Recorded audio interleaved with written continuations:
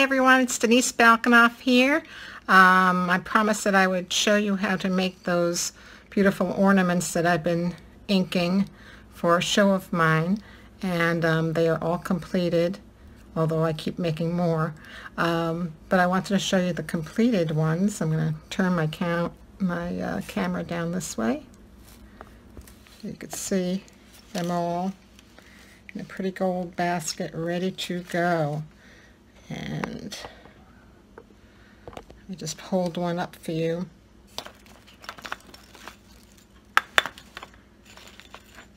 Here's a pretty turquoise one. And a pretty, let's see which one I fish out. It's a purpley one. And I'll do one more. and has a lot of um, uh, what color is that? Um, I'm having a senior moment. Wild plum. That's a wild, wild plum one.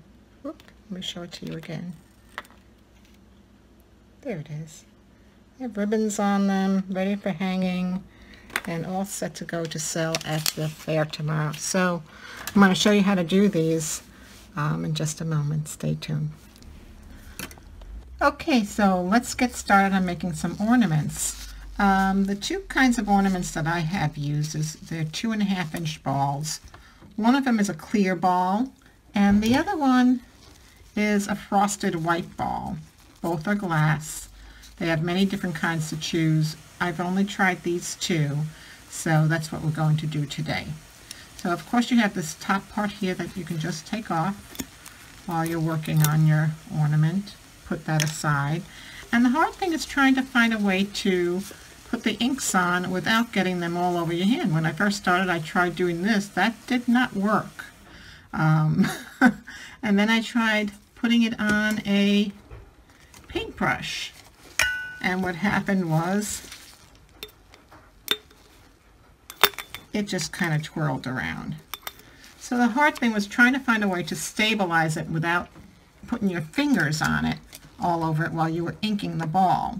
Um, some people have told me since I've done these balls just recently, I found out some people have used dowels and they've wrapped um, elastic bands around them so that they fit inside the opening and the elastic band um, keeps it from from moving around. So that's um, a really wonderful idea. Um, I do not have dowels, uh, so I um, came up with this idea last year after trial and error, and um, it actually works pretty well. Um, it's kind of a quirky way of doing it, but I'm going to share it with you in case you don't have dowels either, and in case this um, seems to work better for you. So what I did is I actually, I'm going to put this ball aside for a while, is I actually used a plastic cup as my way to hold the, um, the ball in place. And as you can see, I have a star over here to show you how I, I uh, mark it just so that I can cut this and then I put the ball opening right in there. I'll show you in a minute how that looks. Actually, I'll show you right now how that looks when I... So here's a clear ball and it's being held by that, that opening. And it works pretty well. Sometimes they tend to, they will pop out on me, but most of the time they're not, I don't have a problem. And, they, and um, it's easy to hold this too. It's nice and big and I, I'm holding um, I can hold the cup very firmly in my hand while I put the inks on. So anyway, this is the way I do it. So all I do is I take an X-Acto knife and I cut through the cup carefully.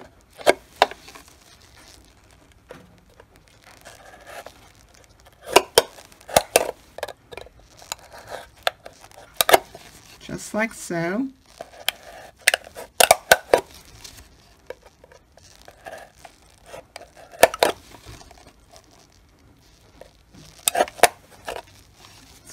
already.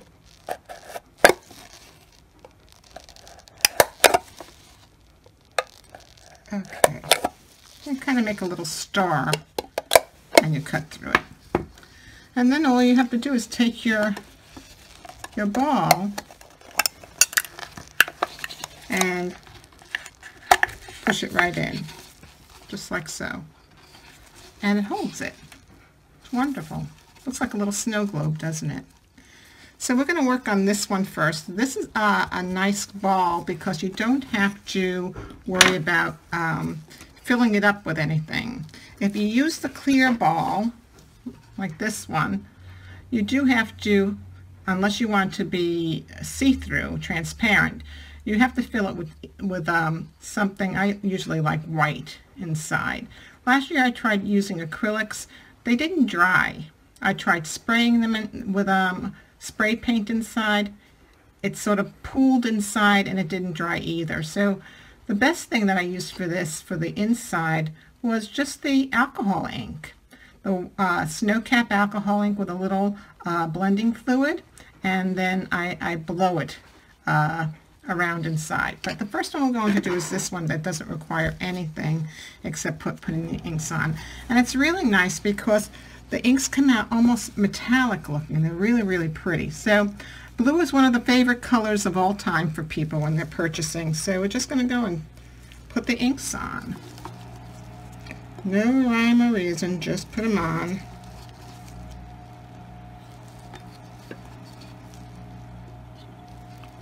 And I turn it as I'm putting it on. Okay, so I have some blue. And I'm going to take some I think I'll do some wild plum. Little wild plum on there. That blue was sailboat blue. And then um, snow cap works really nicely on here to bringing it all together. So I'm going to mix, I'm going to take the snow cap and I'm going to put on some that's a snow cap and I have some homemade oops, homemade um, sorry for that little shake blending solution. So I'm going to put a little blending solution on. And then I'm going to take my canned air and just blow it.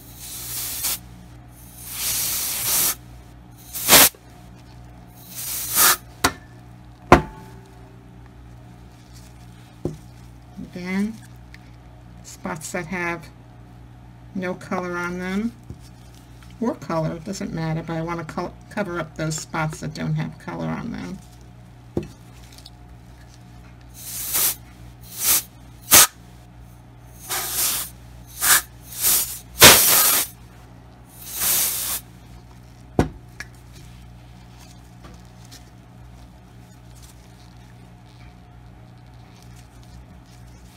little blending solution, just a drop to help the inks flow.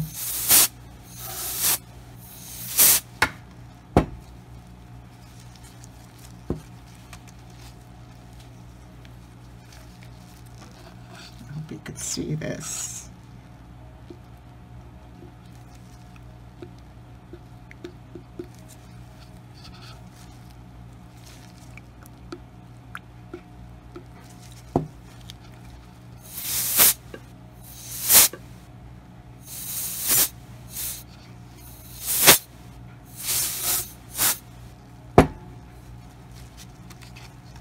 Okay, so it's almost covered, and that's pretty in itself, but I just love using the gold. So I have some Pinata Rich Gold. I'm going to show you how I use that. Now you can let it dry first and then use it, and you have you get different effects with that. But you can also just go right for it. So I I bought a big bottle of, of uh, Pinata Gold on Amazon, and I just put it into little bottles like this. Okay, so a little drop of the gold and sometimes a little blending fluid, sometimes I don't. Sometimes I'll put a little drop of ink and just let it flow. When you put the ink on, what's nice is that it, will help the gold to break. Hope you can see that. I'm checking my camera placement.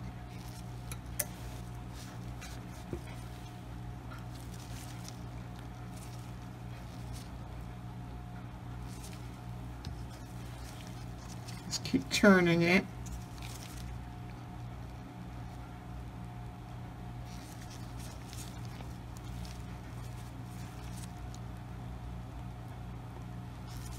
Use a little bit more blue because I wanted this to be on the blue side, but it's turning out more to be on the um, wild plum side. So let's get some blue into that.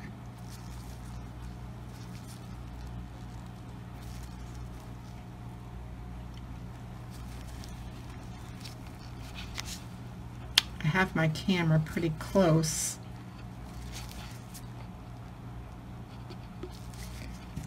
Okay, a little blue.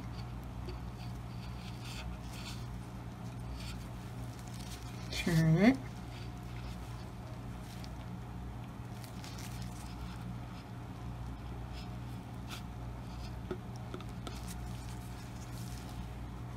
It's a lot of gold.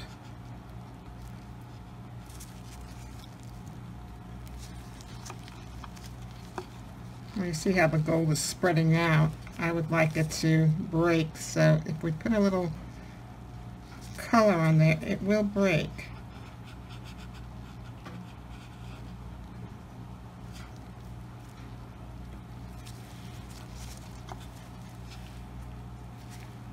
this one's pr pretty much done.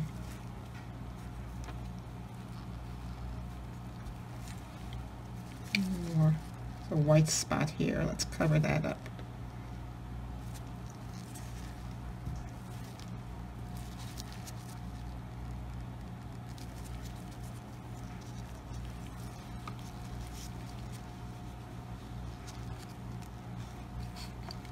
My hand hit it over there.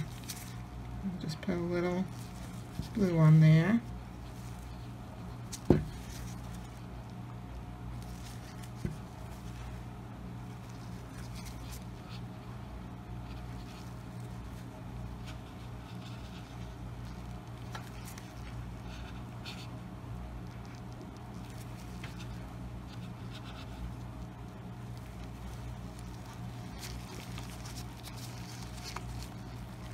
You see that?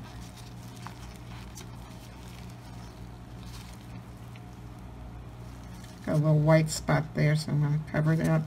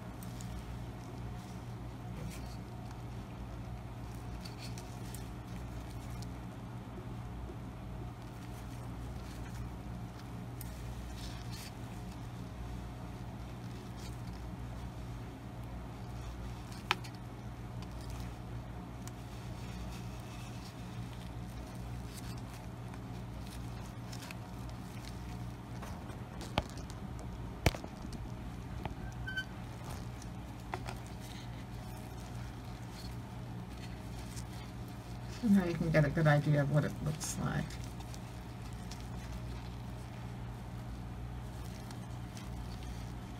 And if it dries, I can go back with the gold if I see places that I don't care for and I want to have a little bit more gold in it, I can, or color. I can go back and do that. That one looks pretty nice. That didn't take much time, did it? Okay, I'm going to put that one aside and let it dry.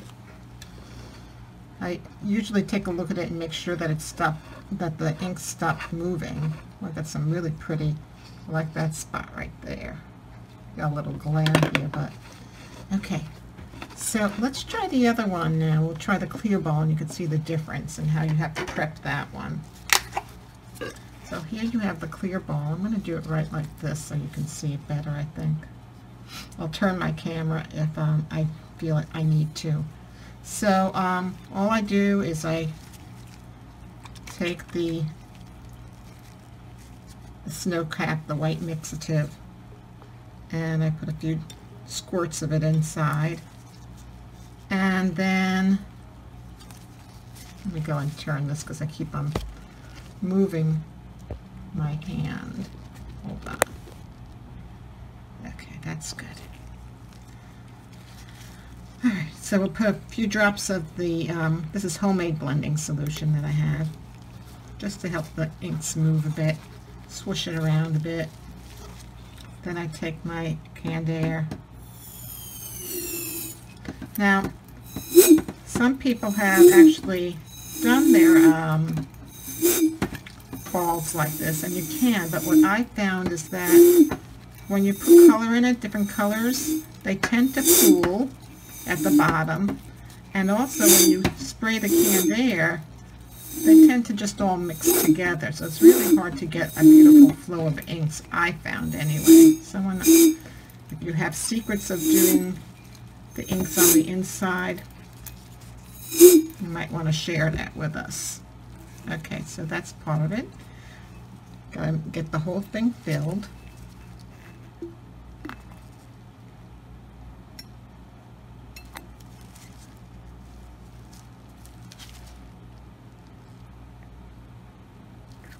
And what's nice about using the pinata, um, not pinata, but the um, snow cap white is that it will dry quickly. Not like the acrylics that we tried. The acrylics did not dry well at all. It took days and days and days, and then I found that they also tended to crack once they once they dried. This will be pretty much dry after I spray it.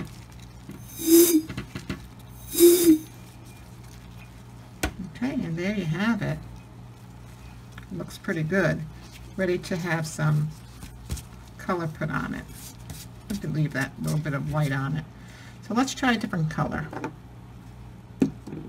Let's try some how about some amethyst?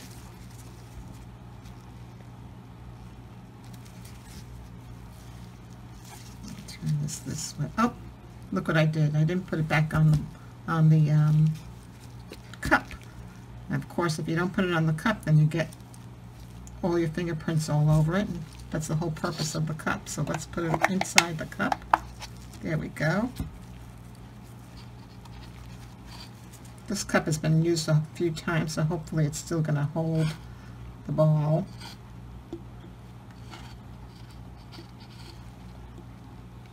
Okay, got lots of amethyst on there.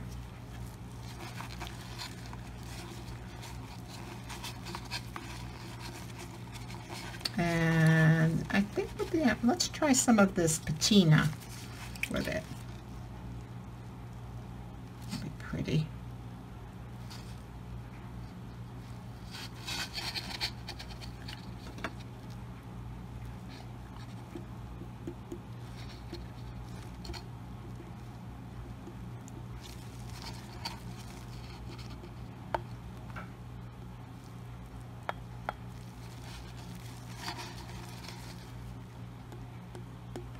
And just like when you work with tile, it's probably a good idea to um, clean these with alcohol first. I think the last bowl I did was having a few um, difficult times with some of the um,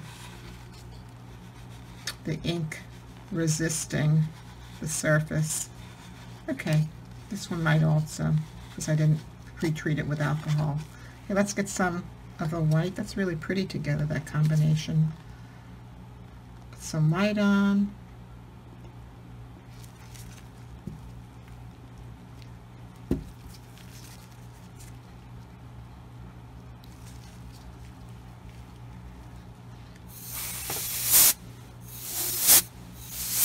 Maybe too much white, but that's okay. We'll put on some more color.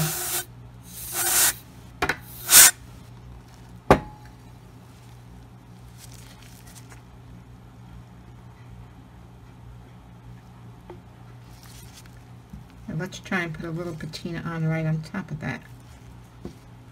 And then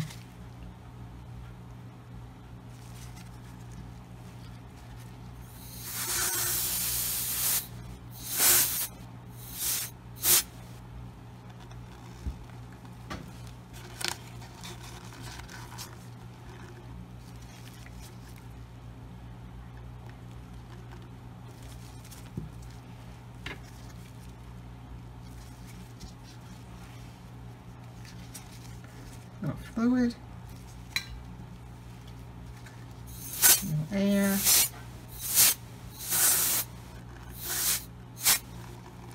Got a lot of white spots on the top of the ball showing through. So we want to put some ink on that.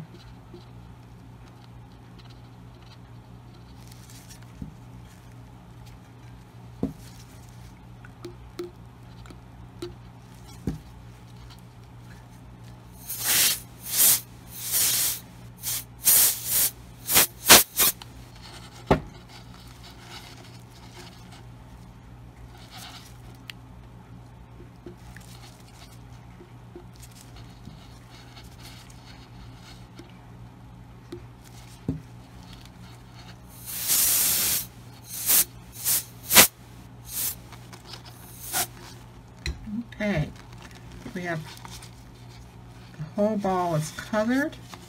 I'm going to add a little bit more color over here. So I have a lot of white and a little of the fluid.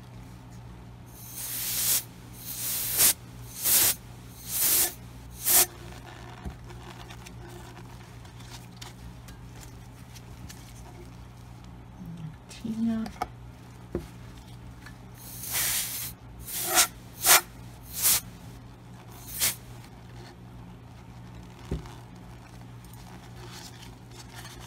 Alright, I am ready to put a little bit of gold on this.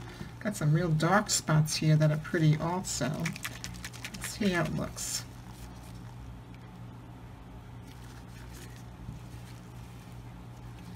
This one I'm just going to put a little bit of fluid.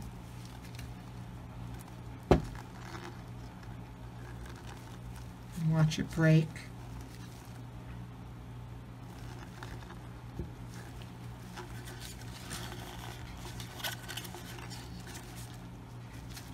Don't forget to shake up your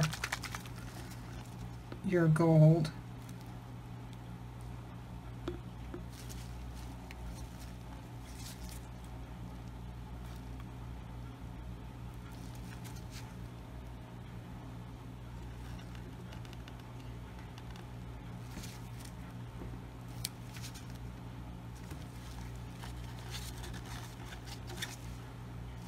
Hmm, try to get some thing going over there. Give it a little something interesting.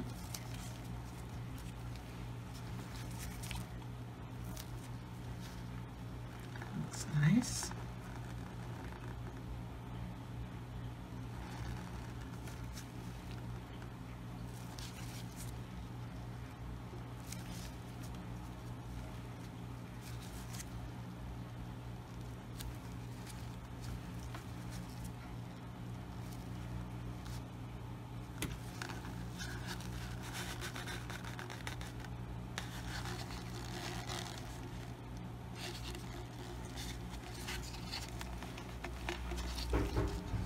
Try to see the top. Let's do a little something on the top here.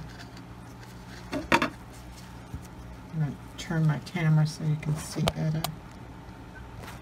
Okay.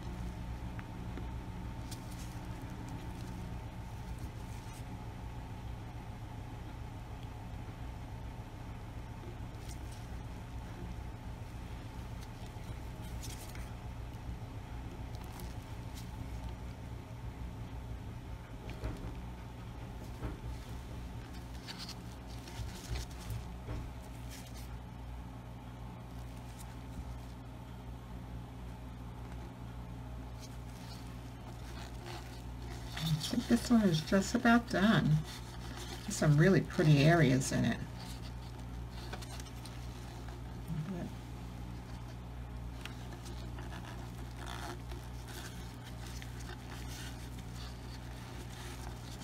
And that's all there is to it. Then I usually let them dry for a little while and then I'll take them out and I'll I put them on um, some sort of a dowel or I've used straws, I've used um, kebab sticks, skewers, and I stick them in a, I pierce a box and let them stand and just dry totally. Um, but really that is it. We have two beautiful balls and if you want to get the, um, if you want afterwards, now this one's pretty dry, if you want afterwards you can go back in, like over here, and you can add a little bit more gold and it will be a little more stripy and that's really pretty too and then you can go in and just again add a little bit of your ink and it'll break really nicely. It won't spread as much as when it's wet. And I like that look as well. See that? I'm going to finish that one up in fact. Um, let's get some more gold at the top here.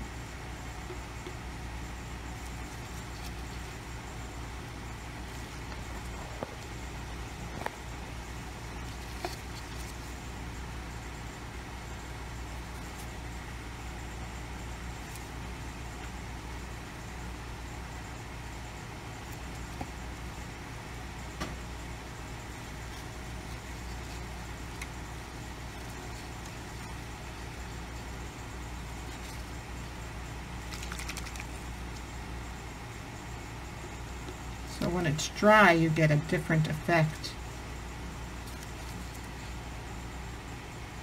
with the gold. One blends more, one stripes a little bit more.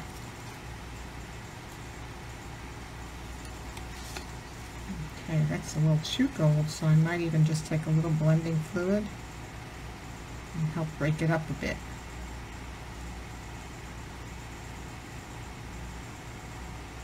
Like the gold to be a little transparent with having those nice little edges around it. I think that's really pretty.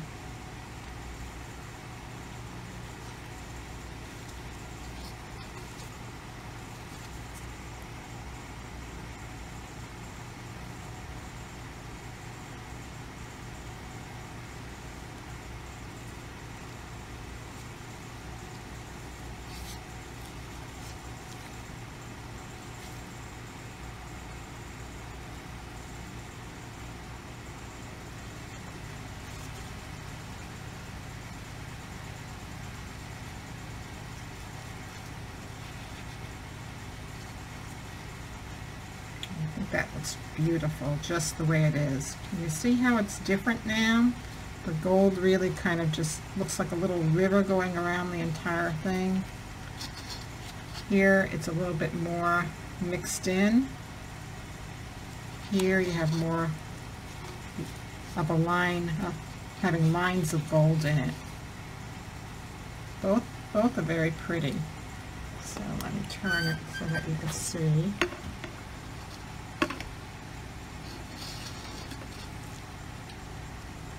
See if I can turn my light so you don't have as much of a glare. Okay, so I'm trying to think which one. This is the one that we just did that is on the clear ball, and this is the one that was on the frosty ball. Both are beautiful, didn't take much time. Now after after they dry, I will take them into my garage and spray them with Kamar varnish. And um, I, I did some today. I only sprayed one one um, layer of uh, Kamar and then I did the UV spray and they look pretty nice. I don't even think I need the, the triple thick. I think it'll be fine. They're gorgeous. They're just so beautiful. And easy to do. So I hope you enjoy that. I hope I see lots and lots of beautiful balls. I already have seen so many beautiful ornaments that people have been making um, and people share their ideas of how they do them. Everyone has their own technique. This is the way that I do mine. Hope you enjoyed uh, this video. I hope it helped you out, taught you a few little tricks here and there. And um, have a great time. These make wonderful gifts. They sell well at fairs. And um, uh, I just love to make them. Take care and have fun.